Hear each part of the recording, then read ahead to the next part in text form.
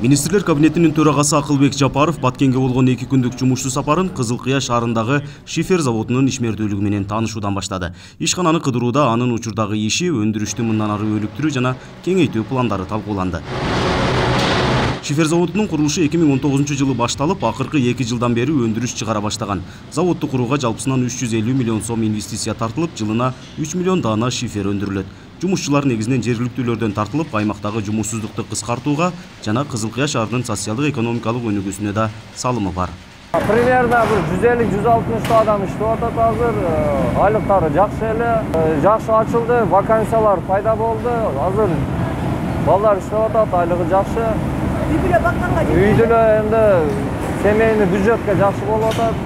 айлыгы позволяет азыр данный момент. Биз ушул арендага берген жерибизге жылына бул он эки айдын ичинде эки жүз миңден ашуун акча төлөйт ошондой эле подоход соцфонд өздөрүнүн тийиштүү налогтору бар. Эки жүз төрт миң жылына ушундай налогторду төлөшөт. Анан биздин элибизге эмнеси жакшы болду?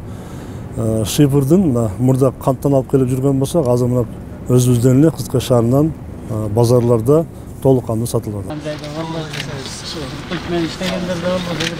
акылбек жапаровдун кийинки иш сапары өткөн жылдын август айында ата мекендик инвесторлордун жардамы менен иши кайрадан жанданган айдеркен сымап комбинатында уланды. Комбинатка отуз алты миллион сомдук каражат сарпталып оңдоп түзөө иштери жүргүзүлгөн учурда төрт жүздөн ашуун жумушчу туруктуу иштеп жатат буга чейин жылына миң тонна рууда кайра иштетилип келген болсо акыркы үч айда эле жети эсе көп рууда чыгарылды мына беш миң метр проход көтөбүз баягы бир горизонтту сууду сордургандан кийин отуз төрт тонна сымап жүз токсон төрт тонна сурма чыгарабыз беш миң тонна филарит бул филарит россия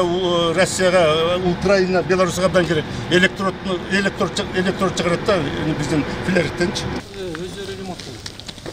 андан соң кадамжай шаарындагы сурма комбинатынын ишмердүүлүгү менен таанышкан министрлер кабинетинин төрагасы өнөр жай тармагын өнүктүрүүгө жана шарттарды түзүүгө кыргыз өкмөтү даяр экенин белгиледи айдеркен кадамжай жана майлуу суудагы үч ири заводду иштетүү боюнча пландар бар экенин айтты. Айрым айылдарда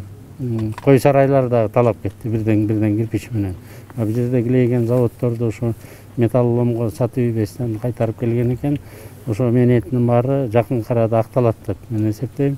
биз өзүбүздүн дагы мүмкүнчүлүктөрүбүз бар акчабыз бар инвесторлорго керек болсо банктардан кредит алып берүүгө же болбосо өзүбүздүн акчалар менен жардам берүүгө да даярбыз таза продукциясын экспортко чыгарат министрлер кабинетинин төрагасы акылбек жапаровдун жумушчу сапарынын экинчи күнү баткен шаарында министрлер кабинетинин көчмө жыйыны менен уланды анда негизинен баткен облусунун макамы жөнүндө мыйзамдын аткарылышы талкууланды нургазы жайнаков регион телеканалы баткен облусу биринчи этапта